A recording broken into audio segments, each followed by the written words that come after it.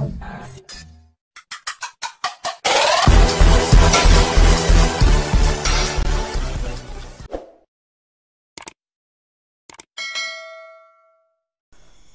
sahabat kampung ilmu, kali ini kita akan melanjutkan pembelajaran kita tentang logika matematika untuk soal level 1.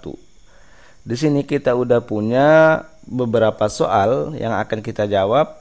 Untuk soal pertama, diketahui tiga pernyataan berikut yaitu pernyataan P, pernyataan Q, dan pernyataan R. Pernyataan majemuk di bawah ini yang bernilai benar adalah jadi kita akan uji nih semua option ya. Option A, B, C, D dan E yang manakah di antara option ini yang memiliki pernyataan benar ya. Pernyataan majemuk benar.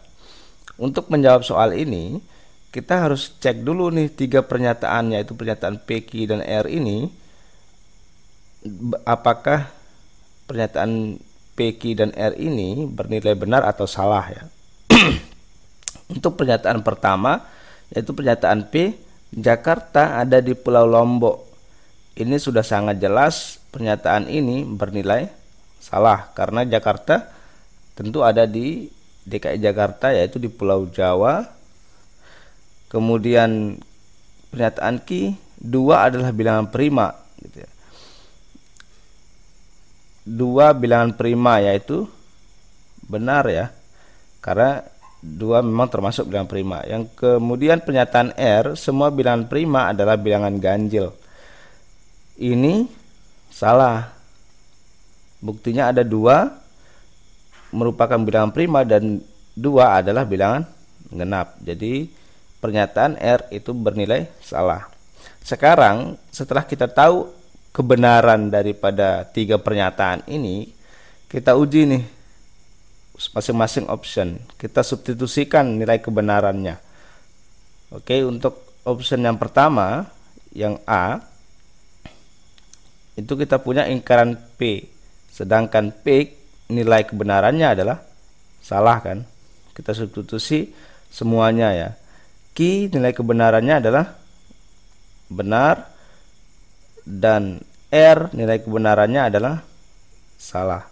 Jadi dari sini dari sini kita punya yang ini pernyataan menyemuk ini ekuivalen dengan ingkaran salah itu kan bernilai benar kan benar atau benar dan salah. Sehingga ini akan ekuivalen dengan benar atau benar jelas nilainya adalah benar. Benar dan salah nilai kebenarannya adalah salah. Oke? Okay. kemudian option B.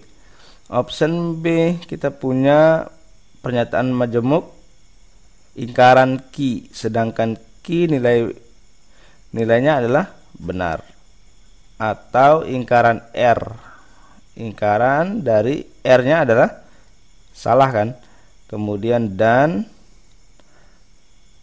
ingkaran ki kita punya Q bernilai benar atau P. P nilainya salah ya. Ini akan ekuivalen dengan ingkaran benar artinya adalah negasi dari benar itu sendiri yaitu salah atau negasi dari salah yaitu benar. Salah atau benar nilainya adalah benar. Oke. Okay kemudian dan negasi dari benar itu kan salah salah atau salah ya jelas nilainya adalah salah kan salah atau salah ya salah sehingga ini benar dan salah ekuivalen dengan salah. Oke. Okay. kemudian yang C. Yang C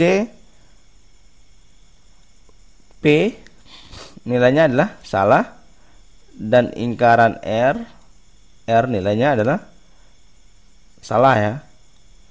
Kemudian dan Q nilainya adalah benar atau ingkaran lingkaran P. P nilai salah ya.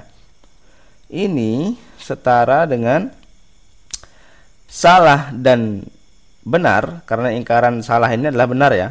Salah dan benar yaitu salah dan benar atau benar nilainya adalah benar.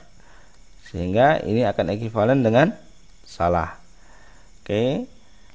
Yang D yang yang D ingkaran daripada P. Ingkaran P jadi ingkaran salah.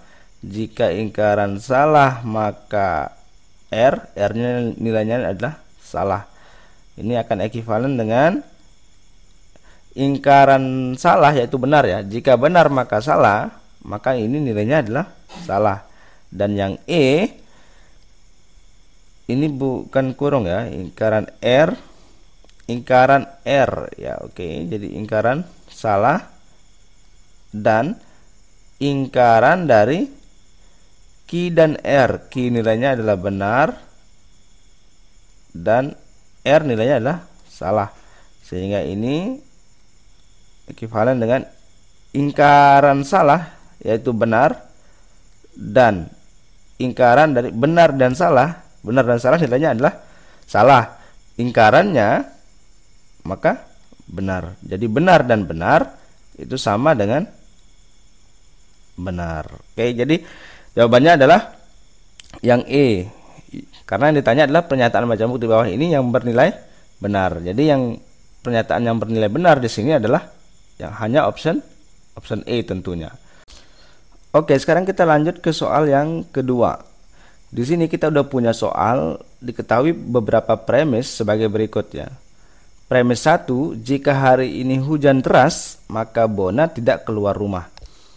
Kemudian premis 2, Bona keluar rumah. Kesimpulan yang sah dari premis-premis tersebut adalah baik, jika ditanyain suatu kesimpulan dari beberapa premis, ada tiga cara yang bisa kita gunakan untuk mencari kesimpulan dengan menggunakan logika matematika. Yang pertama, kita bisa menggunakan modus modus ponens. Kita bisa menggunakan modus ponens. Modus ponens itu ditandai dengan adanya pernyataan majemuk implikasi dan pernyataan tunggal. Maksudnya, misalkan premis pertama ditandai dengan majemuk implikasi pernyataan majemuk implikasi itu kita bisa tuliskan jika P maka maka Q kemudian adanya pernyataan tunggal. Jadi premis keduanya adalah pernyataan tunggal. Maka dari sini kita bisa menarik kesimpulan adalah kesimpulannya Q ya. Kemudian yang kedua, kita bisa menggunakan modus modus tollens. Modus tollens ini ditandai dengan adanya pernyataan majemuk implikasi dan ingkaran dari pernyataan tunggal. Kita bisa membuat menyusunnya dalam bentuk premis satu ada pernyataan implikasi ya. Majemuk implikasi jika P maka maka Q. Kemudian adanya ingkaran dari pernyataan tunggal. Berarti premis keduanya ingkaran dari pernyataan tunggal. Misalkan ingkaran ki, maka ini kesimpulannya adalah ingkaran dari P. Oke. Yang ketiga, kita bisa menggunakan modus silogisme nih. Silogisme. Modus modus silogisme itu ditandai dengan adanya dua pernyataan majemuk implikasi yaitu P1 nya premis pertamanya jika P maka Q dan premis kedua jika Q maka R. Dari sini kita bisa menarik kesimpulan. Kesimpulannya adalah P dan jika P maka maka R oke? Okay? karena ini sama ya. Q nya sama ya udah yang sama kita coret maka kesimpulannya jika P maka maka Oke, sekarang kita ke soalnya. Di soal kita udah punya dua premis ya. premis pertama jika hari ini hujan deras, ini kita misalkan ini adalah pernyataan pernyataan P, maka Bona tidak keluar rumah. Bona tidak keluar rumah ini merupakan pernyataan pernyataan Q. Premis kedua, Bona keluar rumah. Maka ini kan bertentangan dengan pernyataan Q. Ini artinya ini adalah negasi dari ingkaran eh sorry ini adalah negasi dari pernyataan ki dari sini ternyata ini adalah merupakan modus tollens kenapa karena ditandai dengan sebuah pernyataan im, majemuk implikasi yaitu jika p maka ki dan sebuah pernyataan dan sebuah negasi dari pernyataan tunggal oke okay? jadi ini kesimpulannya adalah ingkaran ingkaran P karena modus tollens ya.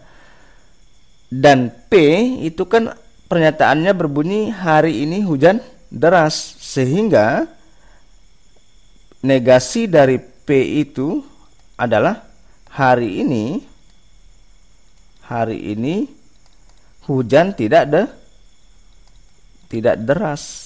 Iya kan? Kalau pernyataan P-nya adalah hujan deras, maka tentu saja ingkarannya adalah hari ini hujan tidak deras. Oke, jadi jawabannya adalah ingkaran ingkaran P. Jadi itu dia ya tiga cara untuk menarik kesimpulan dengan menggunakan logika matematika. Oke, sekarang kita ke soal yang ketiga ya. Di sini kita udah punya soal ingkaran pernyataan jika semua anggota keluarga pergi maka semua pintu rumah dikunci rapat adalah untuk menjawab soal yang seperti ini kita mesti ingat tuh bentuk-bentuk ekuivalen dari pernyataan majemuk. Jadi yang pertama yang harus kita ingat adalah jika kita punya pernyataan majemuk bentuknya begini, ingkaran dari P dan Q, maka ini akan setara dengan ingkaran P atau ingkaran Q. Jadi ini seperti perkalian pemfaktoran gitu ya. Ingkaran kali P ya ingkaran P, kemudian ingkaran dikali dan akan berubah karena ini kan negasi ya. Ingkaran dan ya atau ingkaran dari Q ya ingkaran Q, oke. Okay? Kemudian sebaliknya ingkaran P atau Q ini akan ekuivalen dengan ingkaran P dan ingkaran ingkaran Q. Kemudian yang ketiga,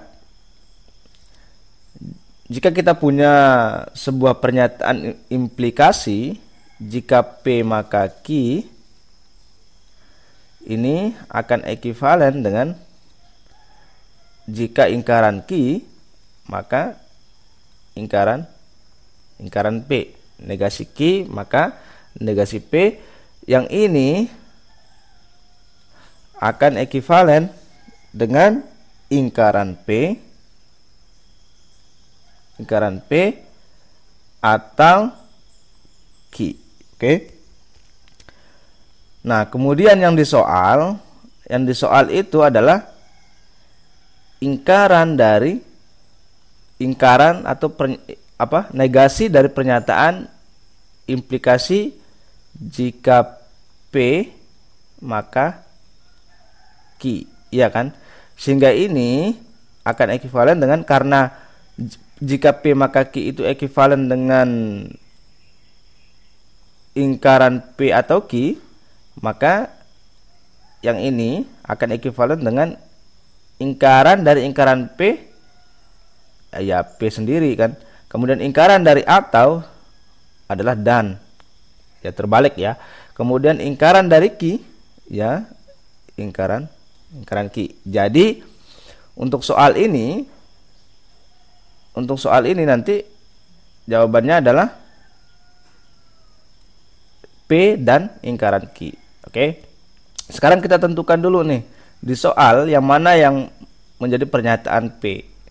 Ternyata yang pernyataan P adalah jika semua anggota keluarga pergi, nah ini adalah pernyataan pernyataan P. Kemudian semua pintu rumah dikunci rapat. Nah, ini adalah pernyataan Q.